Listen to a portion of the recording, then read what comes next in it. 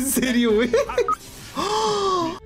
Hola fanders, ¿cómo están? Bienvenidos a mi canal, yo soy Fandom y en este video les traigo mis primeras impresiones del capítulo de Aquamis Shows parte 2 Un capítulo que realmente no me esperé que tuviera tantas sorpresas a pesar de que ya sabíamos ciertas cosas. Ahora, comencemos rápidamente y es que el capítulo comienza donde nos dejó la parte anterior. Y es que eh, Escarabela y Kirinoa están pasándola súper bien. Están inclusive dando una entrevista donde pues coquetean un poquito y donde se anuncian como las nuevas superheroínas. Y pues incluso aquí, eh, no sé por qué desmiente el tema de que Ladybug y Shad tienen algo. Supongo que lo hace como para que su amiga no se moleste, sabiendo que le fastidiaba antes a su amiga eh, este emparejamiento con Shad Pero bueno, al final, no sé qué, ojito, ojito lo que dice Kirina, porque dice: eh, Sí, no estamos enamoradas por ahora. Es como que ¿Qué? ¿Qué está pasando aquí, güey? ¿Sienten la tensión? Eh, bueno, el tema es que eh, pasamos a la siguiente parte donde nos revelan que pues están haciendo sus actividades como heroínas. Y ahora, eh, pues simplemente a Alia, simplemente podemos ver que Tiki extraña a Marinette. Es una de las cosas importantes en el capítulo porque se siente ese tema de, digamos, la lejanía que tiene con, con digamos, la portadora que más ha querido toda la vida. Vemos de que Marinette la visita y pues está muy bonito todo el asunto porque pues vemos de que Tiki se, pone al día con Marinette, pero aquí también Alia al parecer se entera de que Marinette está saliendo con Adrien. Marinette como que lo oculta, pero como que no lo logra ocultar lo suficiente. Así que pues por ahí esta escena está un poquito reveladora porque pues no se deje, no, se deje en claro si Marinette es novia de Adrien o no. Solamente se sabe de que ya no son amigos. Y esto lo reforzamos más adelante porque más adelante podemos ver de que Marinette y Adrien están almorzando juntos en escuela, cosa que claramente todo el mundo se da cuenta, ¿no? Es un poco evidente. Y Lila aprovecha para meter cizaña y de que de esta manera Chloe intenta hacerle la vida imposible pues a Marinette, cosa que no logra hacer porque pues se mete se mete Zoe y pues está muy chido, ¿no? Que como que se meta tanto en el papel y que pues quiera ser como que una superheroína también en la vida real. Sin embargo, algo interesante es que Marinette por alguna razón no puede tomar la mano de Adrian, es decir, no puede hacer cosas que haría como novia Así que está extraño todo el asunto. ¿Por qué no puede tomar su mano? ¿Por qué se rehúsa tanto a simplemente se acerca de? Es como si todavía no procesara de que ya no es amiga de Idren, sino que es algo más. Y me da claro porque Idren sufre un poco al respecto. No se dejen claro, no le dejen claro sus sentimientos. Pero bueno, vemos de que Chloe intenta hacer algo, pero Zoe lo evita y ahí es donde Chloe se súper enoja. Pero antes de hablar de ese tema, hablemos de un tema más interesante. ¿Qué pido con el baile de Gabriel? ¿Qué onda con el baile? De la nada se pone a bailar. Güey, de la nada se vuelve un musical. O sea, no hay contexto. Simplemente se ve que Gabriel en su mente está cantando y se pone, se ponen a hacer unos pasos prohibidos, güey. Que, que pues estaría, hubiera, hubiera estado súper chido que la continuaran, pero la persona que lo interrumpe cuando está viviendo la super vida es, obviamente, es este su asistente, obviamente es Natalie. Y pues ella le dice, güey, ¿qué está pasando aquí? ¿Por qué estás bailando? Me das miedo, me das cringe. Y pues él le dice, no te preocupes, no te voy a explicar qué está pasando aquí. Y le explica su plan, su plan malvado y es que pues obviamente ya descubrió quién es Alia y quién es Zoe. Pues gracias a los anillos sabe que una persona no puede ir 14.8 kilómetros en un par de segundos. Pues literalmente lo hicieron, aquí sale en 14 minutos al mismo tiempo y en las mismas Es imposible. Claramente son Ladybug y Chat, Noir o conducen de una manera muy imprudente. Eh, claramente, es lo, claramente es lo segundo. Ahora, Natalie se ve un poco triste. Parece que le está remordiendo la conciencia. El, Gabriel está, pero híjole, está entusiasmadísimo. Se lo va a contar a su fría. Y pues está súper entusiasmado. Y hasta arma un plan donde dice: Bueno, o sea, solamente necesito aprovechar el momento. Necesito hacer como que una distracción para poder capturarlas. Y pues eso es básicamente lo que hace. Como que, ah, como que habla con. No sé por qué. Cuando este güey está feliz. No solamente trata bien de una manera sospechosa a los Kwamis. Sino que como que se ve más lúgubre. O sea, me da más miedo feliz de que triste, güey. Vemos de que al parecer. Em, el equipo del colegio está formando una especie de plan. Son como que quieren armar como su su, mm, ¿cómo decirle? Su liga de superhéroes sin poderes para que ya no tengan que recorrer a Ladybug y Chat en caso, este, acomaticen a alguien en el colegio. Entonces tienen un plan, que es que si alguien acomatizan en el colegio, simplemente los van a atacar con lo que es pintura, lo van a detener y van a avisar a toda la escuela para poder evacuarla. En lo que llegan, también en lo que llegan Ladybug y Chat aunque la idea es que ellos mismos también se lo puedan quitar. Y vemos que la estrategia no está mal. Y aquí vemos un poquito del remordimiento de, de Alia. Yo opino que Alia no sirve como Ladybug porque eventualmente en esta escena podemos ver cómo le duele no decirle su secreto a Nino. Y es como que, güey, pero ¿por qué tienes que decirle todo a tu novio? O sea, así no funciona la vida real. A veces también uno tiene sus cosas personales. No necesariamente tiene que estarle contando, y en especial si son pues cosas que son importantes para uno. Digamos, si tu mamá te cuenta algo, no vas a estar y te dice por favor no le cuentes a nadie. No necesariamente lo primero que debes hacer es ir a contarle a tu novio. Es como cuando tú le cuentas algo personal a tu mamá y tu mamá se lo cuenta a todas las tías. Así no funciona. Eso es tóxico. No lo hagan, chicos. Pero por alguna razón Alia tiene este pensamiento de que debo contarle todo a Nino y le, le cuesta, sufre con no contarle toda su existencia a Nino. Ahora, obviamente, Ahora, obviamente, Monarca ya se dio cuenta de todo el asunto. Aquí vemos a Plaguita comiendo. Y bueno, comienza la distracción. Aprovechando que Chloe está acomatizada, de, de alguna manera logra distribuirse en el colegio utilizando los poderes de, pues, del ratón y también de Polen para poder, para poder tenderle una trampa al, a la nueva Ladybug y Chat Noir. Entonces todo funciona así. Chloe obviamente se emperra porque no, no, no, le permiten hacer sus maldades. Así que, y, Zoe, Zoe es la que me, me gusta mucho de que en este capítulo si bien no hayamos podido ver, digamos, mucho tiempo a Alia y a Zoe, pudimos ver un desarrollo en el personaje de Zoe y eso me gustó mucho. Pudimos ver un desarrollo de personaje que si bien fue pues haciéndola sufrir hasta cierto punto, ella misma se dio cuenta de que puede ser un superhéroe sin necesidad de ponerse un poder. Pero bueno, aquí vemos de que ponen en su lugar a, Chloe una vez más y aquí es donde empiezan a operar Hackmod. Eh, rápidamente cuando Alia se quiere transformar y cuando Zoe se quiere transformar, las, las atacan, las paralizan y les quitan los Miraculous. Así de simple y, peligroso era usar el anillo. Ahora, esto no se queda aquí porque podemos ver de que Tiki y Plag son los héroes de este capítulo y es lo que más me, agradó de este capítulo.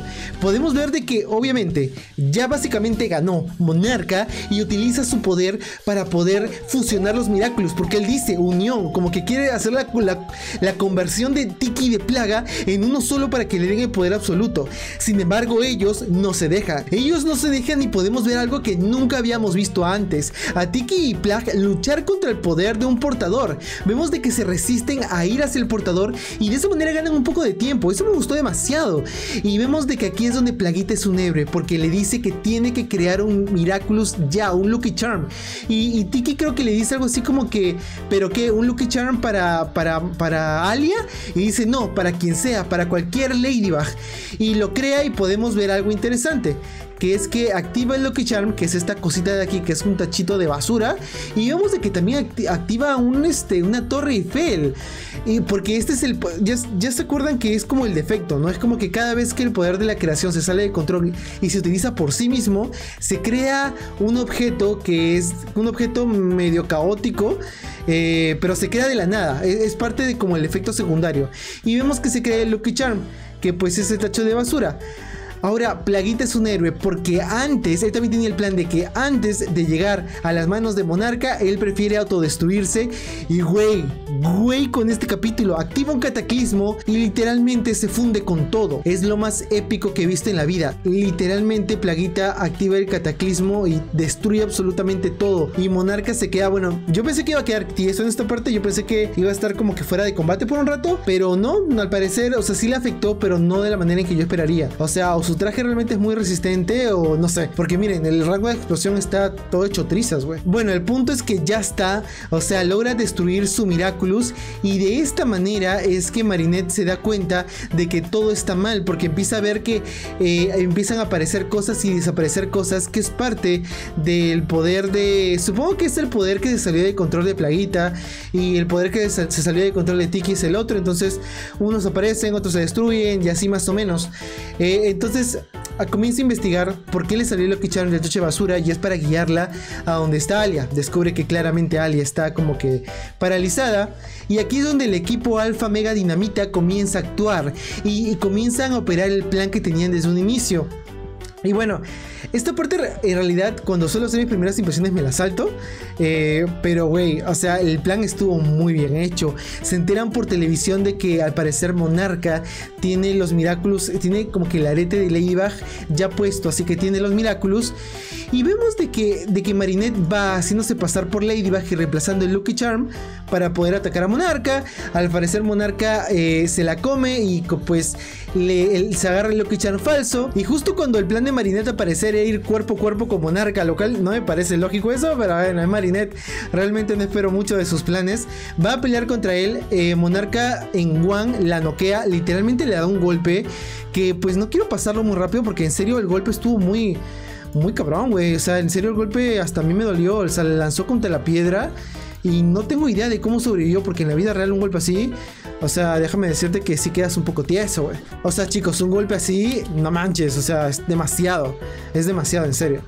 Bueno, vemos de que los chicos activan el plan. De alguna manera, para que vean que Chloe ha sido comatizada demasiadas veces, ya saben cómo, ya saben cómo destruir a Chloe. Chloe, mira, yo me pasé el lado de la, la de Chloe porque era una conversación muy, muy. ¿What the fuck? Chloe con sus pies puede transformar a la gente en zapatitos. Así que que la laven.